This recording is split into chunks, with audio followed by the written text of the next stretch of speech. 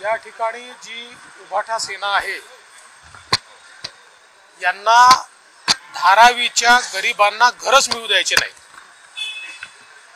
आणि त्यामुळे या ठिकाणी हा प्रकल्प कसा डिरेल होईल अशा प्रकारचा त्यांचा प्रयत्न आहे. आज जे काही टेंडर झालेलं आहे मुळात पहिल्यांदा मी मुख्यमंत्री असताना आम्ही टेंडर केलं. आणि त्यावेळी ते टेंडर मंजुरीला आलं असताना हे नवीन सरकार आलं या नवीन सरकारने ते रद्द केलं. म्हणजे उद्धव ठाकरेंच्या.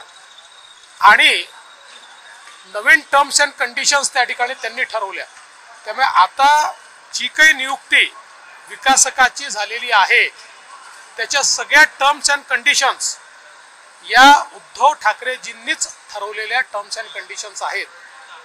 पण अशा प्रकारची दुटप्पी भूमिका हे ते नेहमीच घेतात.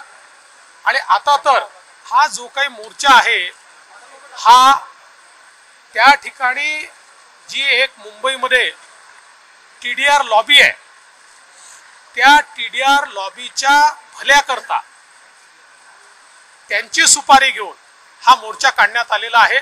असे किती मोर्चे निघाले तरी धारावीच्या लोकांना पक्क घर आम्ही देणारच.